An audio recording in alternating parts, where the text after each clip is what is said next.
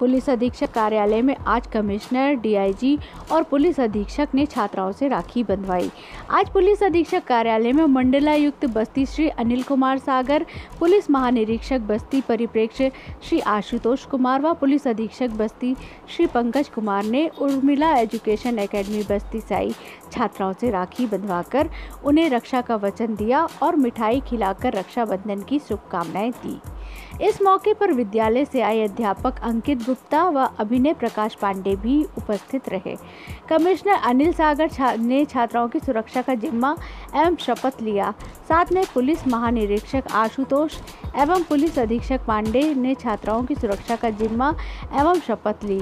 इस बीच विद्यालय परिवार के अध्यापकगण एवं तमाम मीडिया कर्मी मौजूद रहे।